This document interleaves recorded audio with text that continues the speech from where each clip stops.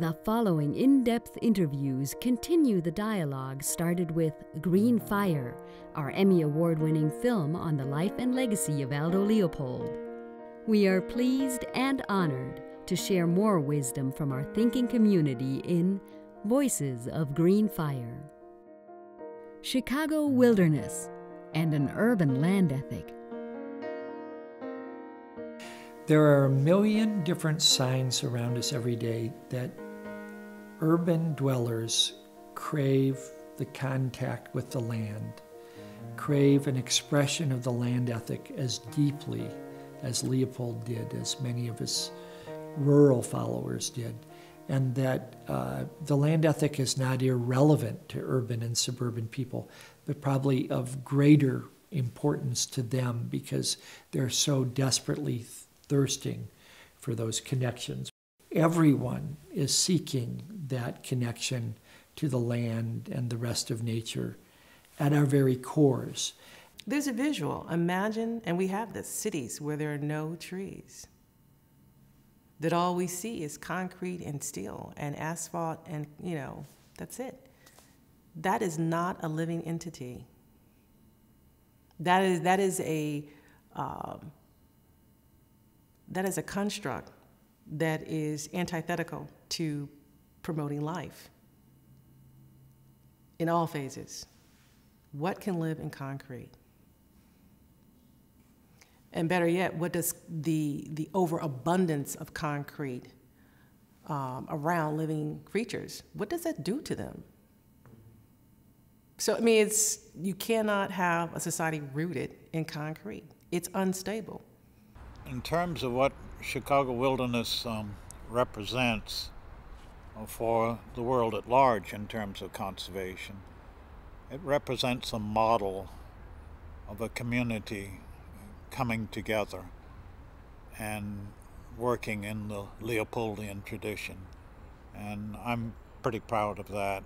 By choosing as their umbrella title Chicago Wilderness, they were making a statement that even within the city, there are wild places that need to be cared for and nurtured, but also that we can connect our understanding of cities to this context in which cities exist.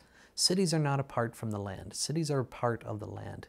And that's a very Leopoldian way of thinking about the world. Yeah, so about a dozen years ago, um, a few people were talking about how can we really uh, scale up the conservation in this region. This part of the Midwest has a lot of important remnant natural areas that are degraded and really need to get restored and managed. And um, we've got about 360,000 acres of protected land in the Chicago region, and it wasn't getting all the resources that it needed. So we decided a thing to do would be to band together and try to enlarge the conservation pie here. And we've been doing that for, for 12 years or so.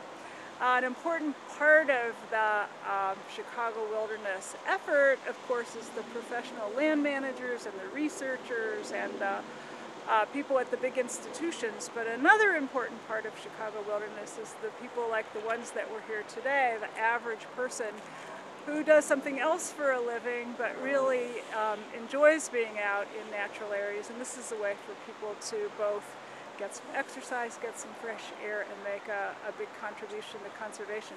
I have to say, when you tell people what the situation is with conservation, sometimes it can sound like a really gloomy story, so it's really nice to have something positive to tell something that they can do. This is a really unique um, area of the city. It's more um, economically depressed than other areas of the city. It's also got the industrial heritage um, of all the steel mills, which are now gone. And um, what we're all collectively trying to do is envision a new future for the community, which involves greener jobs, um, people engaged in nature, appreciating nature, and um, and helping to protect it in the long run. And community is key to that. And we want to educate students, we want to work with teachers and community members and get everybody involved. There's room for everyone in this. Here in Chicago, we've got a great movement going called Leave No Child Inside. You know, we, we care that thinking, we care about feeling, but caring for is the action that we need everyone to take in terms of the natural environment. So we've been at this a while. And I'm really pleased that Chicago Wilderness, which is a consortium of 214 organizations, uh, cities, uh, government agencies, etc., is involved in this effort in terms of Leave No Child Inside. Some of these students, although they live um, very close to nature and um, close to forest preserves in their community, have never been um, to forest preserves before. Um, their experience of nature is, um, it, at best, what they're seeing, you know, walking on their way to school um, for a lot of the students. And they just don't get the direct experiences that I got, say, for instance, when I was growing up. And so we're very happy to be able to um, get those students involved and get them out here. It's uh, really um, makes our days worthwhile when we see their eyes open up and all the things that they experience when they're out here that they've that never seen that um, to them are, are, something new that we may have experienced several times, but it really is different when they see it for the first time. There are a lot of conservationists in the urban areas. There are a lot of people who are attuned to the natural world. Um, and there are a lot that are not.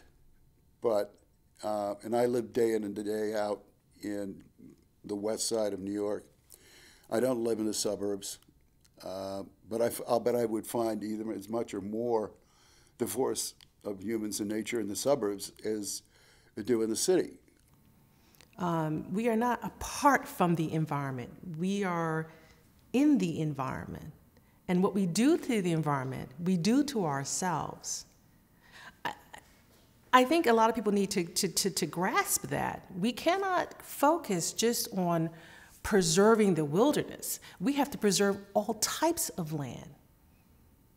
And I think that's, that's the challenge.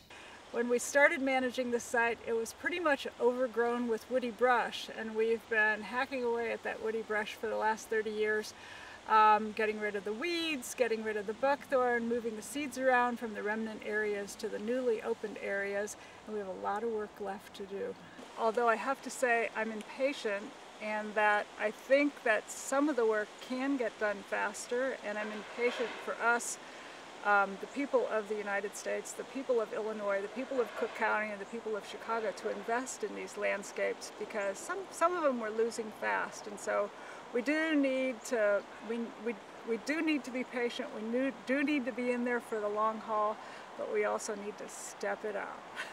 in Chicago Wilderness, they're making it happen. They're doing it through restoration work, actively bringing health back to the forest preserves and prairies and wetlands of the Chicago area. They're doing it through educational activities that allow kids to reconnect, city kids, to reconnect to nature in a way that maybe they have no other opportunity for. They're doing it by also bringing information and knowledge to these tasks.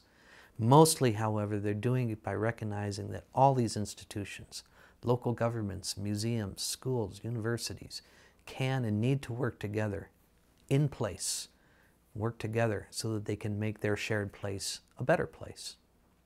Because it is about overcrowding and it's about misuse of the land, and we are all suffering. Every being, living being, is suffering from that overdevelopment of land. And it carries through, not just in that particular location, it carries through in a region and it carries through nationally. Urban community gardens are making a huge comeback. Um, they're growing all over this country.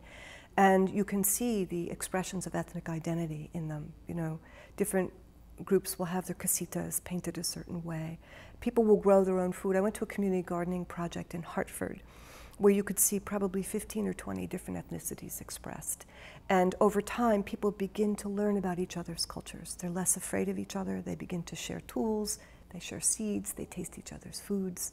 Um, so these urban gardens actually are more diverse biologically because they have more different kinds of plants and flowers and herbs and spices.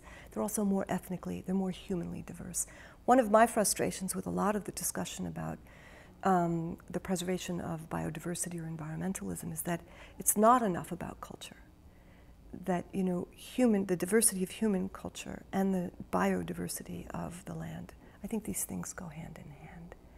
What we're doing here is mostly demonstration and showing how viable the, the, the, the idea of an urban fish farm is, how viable the idea of an urban ag piece where people are growing and providing jobs where there are no jobs, providing food where there are no stores or grocery stores or produce.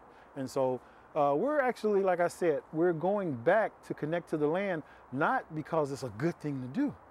It's the only road left off to us at this point in time. It's a necessity. What we need to realize is simple is a simple fact that is the majority of the human population, the six billion some people on earth, the majority are already in urban locations, in cities, in the surroundings of cities all over. You know, here in, in Chicagoland, we've got a great urban concentration. It's determining what happens in the rest of the state, in the rest of the region. And we must come to grips with this in, a, in an effective way. And that's why programs such as Leave No Child Inside are so important because we must engage parents, teachers, other caregivers of the, of the future potential stewards of the land. We must engage them now and effectively. For more information and videos, visit the Green Fire page at humansandnature.org and the Aldo Leopold Foundation YouTube channel. Footage created through a partnership of the Center for Humans and Nature, the Aldo Leopold Foundation, and the United States Forest Service.